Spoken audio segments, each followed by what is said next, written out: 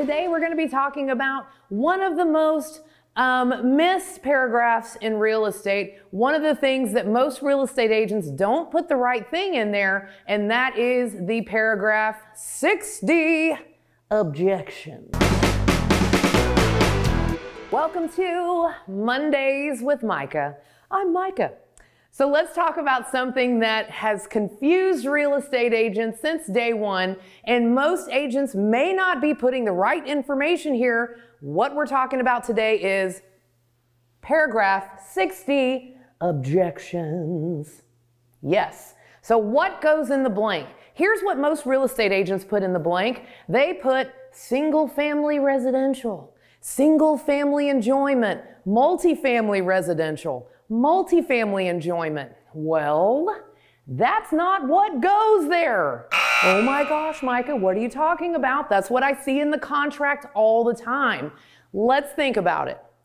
The title of our contract is the one to four family contract residential. The whole contract is meant so that your buyer is going to be able to enjoy this property as a one, two, three, or four family residential property. You don't have to write it in here saying we object if we can't use it as a residential property. Well, that's pretty much a given with the whole contract. So what does go there? Let's talk about it. Here's what goes there. We've got to have a conversation with our buyers on how they are going to use this property beyond single family residential. So what is it? Well, are they going to run a business out of their home? Are they going to run a hair salon, a child daycare, a nail salon? Are they going to raise dogs there? Do they need a space to park an RV or a big rig? Do they want chickens? Do they want to have a chicken coop? And here's the latest, hottest trend. Do they want to have a short term rental? Put it up on Verbo, VRBO. Do we want to do weekends? Do we want to do week or a short term for a month? Maybe they're buying the property so that they can do those short term rentals. Well, what about do they want to have a future pool? Yes, even something like that. This blank here is for you to protect your buyer and ask them, how do you intend to use the property beyond your single family residential? And you can prompt them. Do you need to park something? Do you need to run a business? Do you gonna, are you going to have a future pool? And if you do, let's write it in.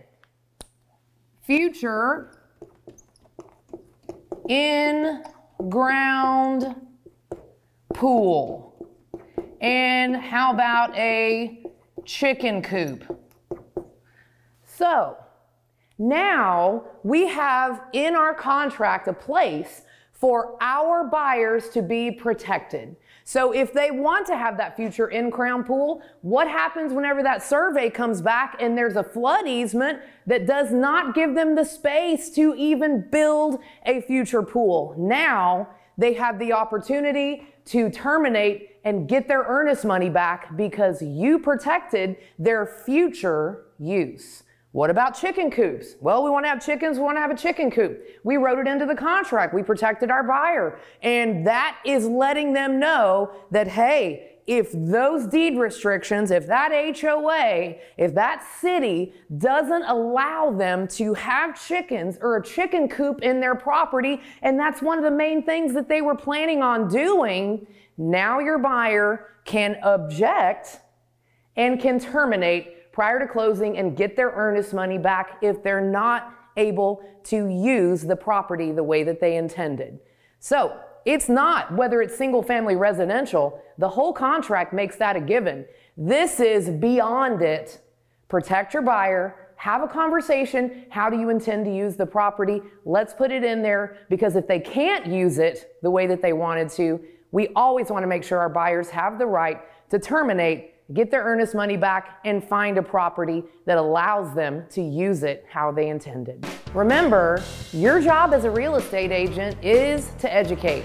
It's all about education. The more educated you are, the better agent you will be. If you feel like you want more information about this topic or any other topic in real estate, join us for our CE classes, join us for mentoring. We would love to make you the best agent that you can be.